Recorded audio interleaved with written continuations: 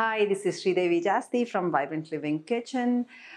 Here we show easy to make plant based recipes that are absolutely delicious and nutritious. We use wholesome plant based ingredients that are grown locally and naturally. Being in the kitchen is the best thing one can do to help um, help have good health for themselves and family. And um, I encourage people to get in the kitchen and make some good food that uh, that keeps you healthy and happy. It helps in weight management, hormonal balancing, to keep your sugar levels under control, heart healthy, and all of that. Have uh, enough protein and uh, nutrients in your diet while detoxifying at the same time. The kind of ingredients that we use, the spices and the herbs and all of that, they help in detoxification as well as nourishing you at the same time. So today I want to show you how to make a, very chunky, hearty uh, soup that's made with scarlet beans. Yes, they're called scarlet beans.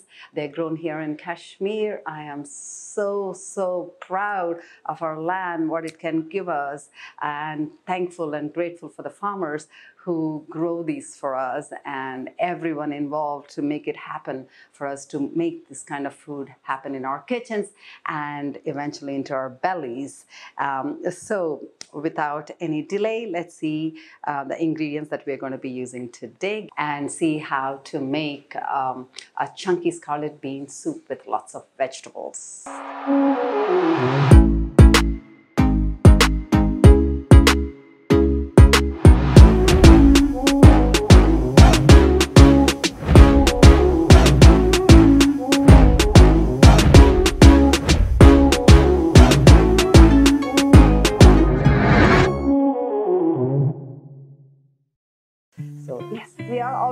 Kitchen. Okay, um, so pumpkin, potatoes, carrot, chow chow.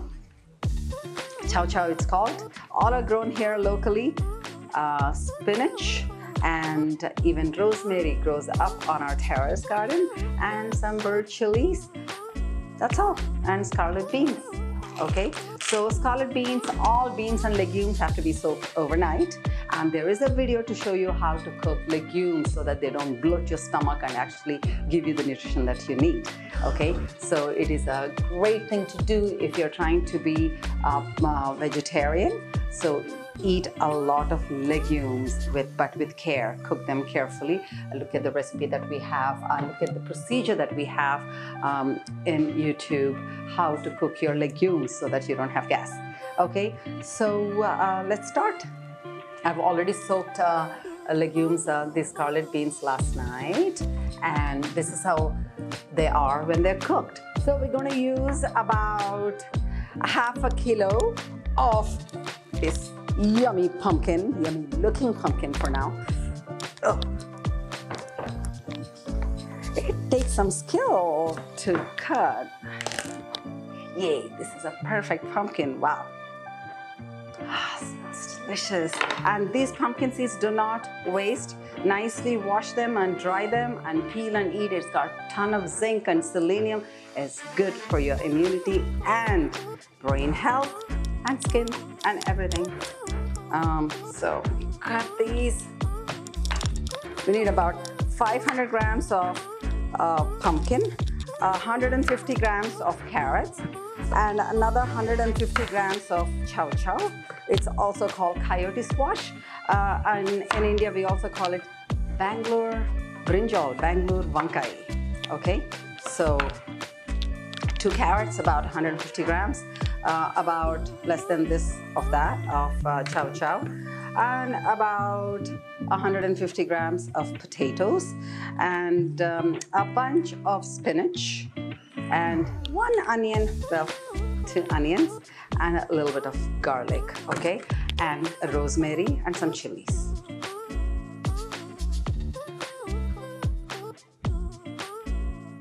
So include all kinds of vegetables. If you don't find exactly this combination of vegetables, don't sweat it.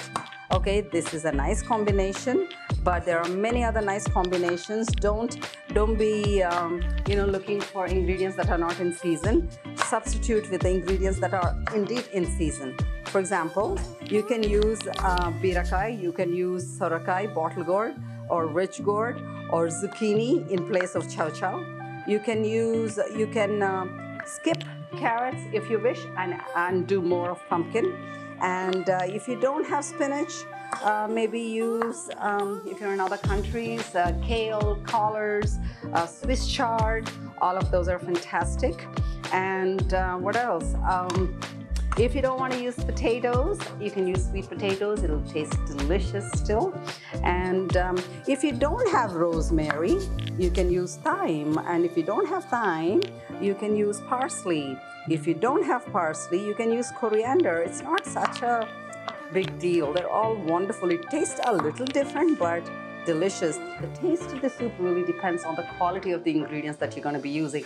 So focus on the quality of the ingredients. Uh, quality meaning fresh and grown naturally. And, uh, and you'll be fine.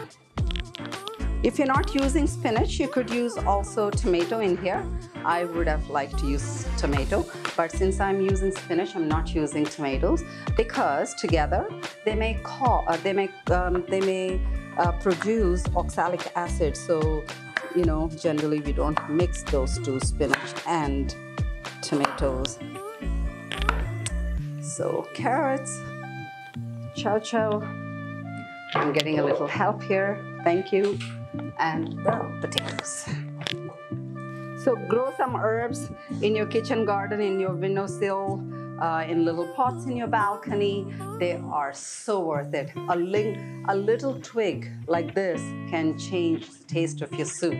So do grow them. My grandma used to very lovingly, you know, save these seeds and dry them and peel them for us and give it, oh, I still remember the taste of those pumpkin seeds. It's so hard to get that kind of taste in the market, but your pumpkin that is grown naturally will have similar taste even today.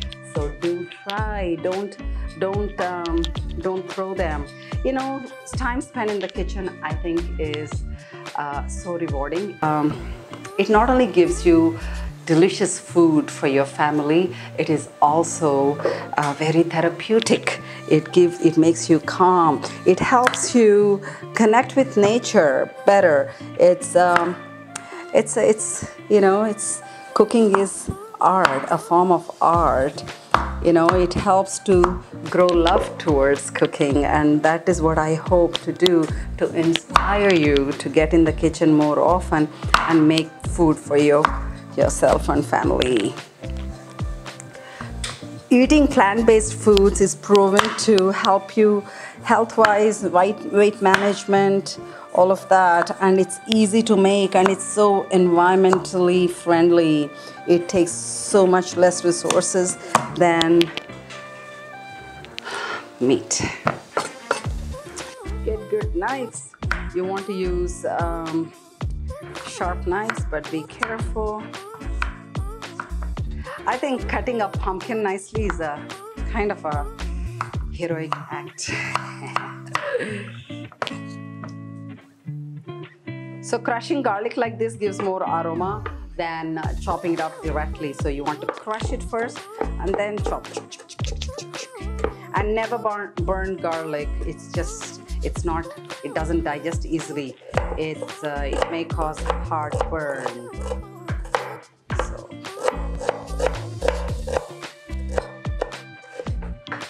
If you notice, a lot of people can't handle those recipes that have burned garlic. I don't know why they have such burned garlic recipes. Um, they're not good for you.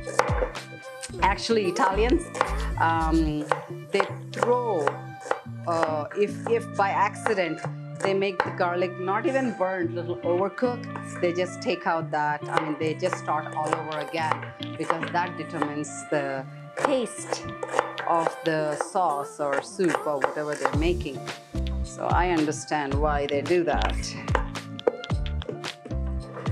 Okay, I think I can start making the soup now. And while I am, um, you know, frying the onions, sauteing the onions, I shouldn't say fry, sauteing the onions, I can cut the rest of the vegetables.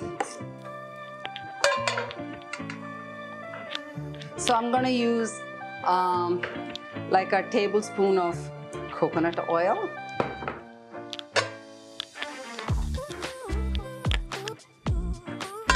And before the oil gets really hot, so not to burn the garlic, I'm gonna add garlic and Garativa. And I'm gonna add rosemary. Just peel off like this, or you can just leave it like this. It'll just comes apart as the soup is getting cooked. And onions. I always say you don't have to add um, oil and do all of this. You can just add all the ingredients together, add some water and let cook it away and it'll be just fine. And at the end, when you're serving, you can put nice amount of cold pressed virgin olive oil and it'll be delicious. I'm gonna add two little chilies.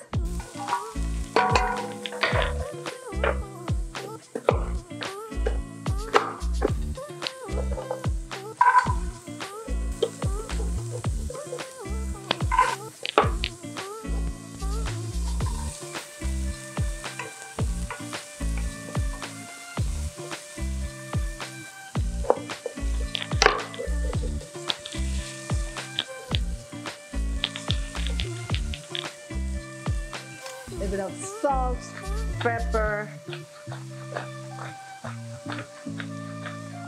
add all the vegetables, smelling great here. You could uh, add parsley too to this soup if you have. Celery also is a great addition. Okay, so you have a ton of vegetables and they're going to get little roasted and then I'm gonna add water and cook beans and cook together. And let's see how it transforms.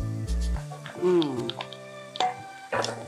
Just gonna put the lid for a little bit and wait patiently and enjoy the smells.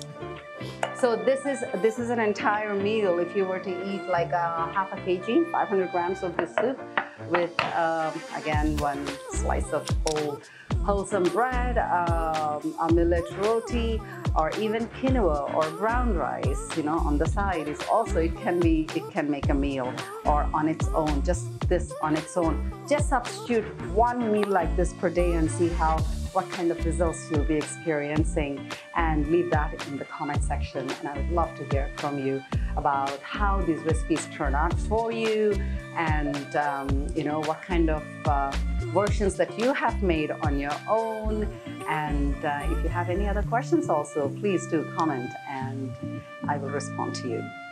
All right, so ooh, I just got a facial. Okay, it's nicely nicely cooked. I think the ones that we need to check is this chow chow and it's fantastically cooked. It cooked about like uh, 20 minutes. It takes a little time. Now it's time to add cooked uh, scarlet beans, your protein part and the yummy richness and uh, just salt. We only added salt once.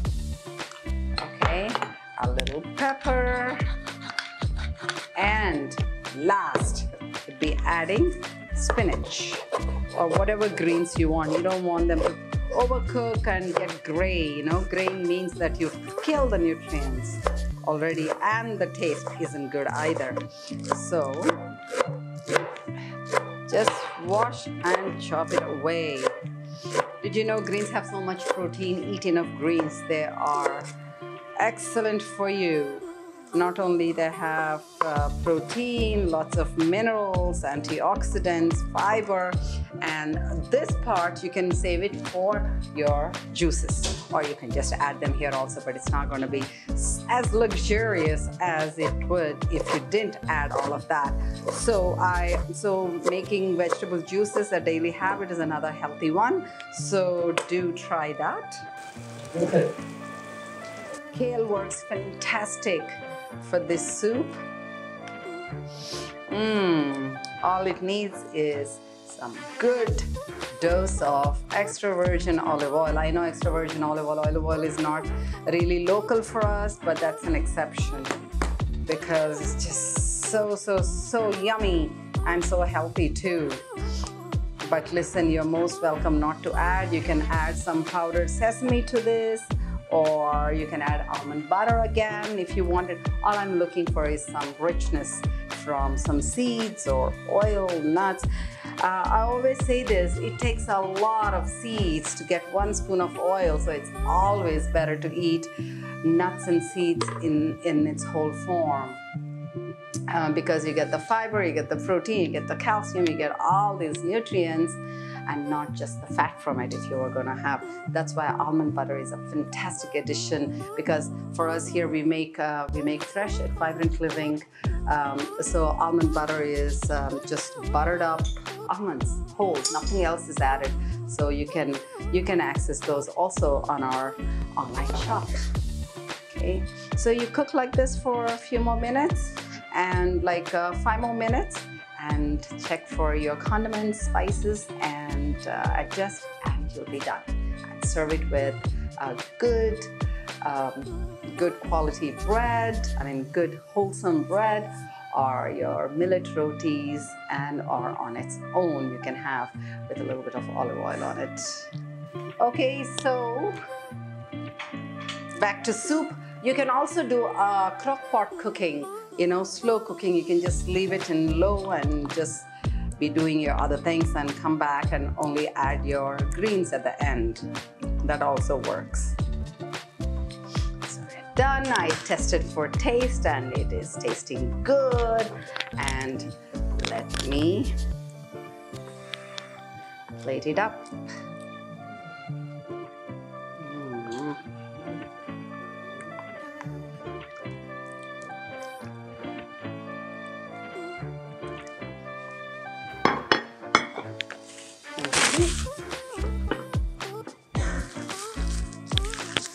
The one of the yummiest things.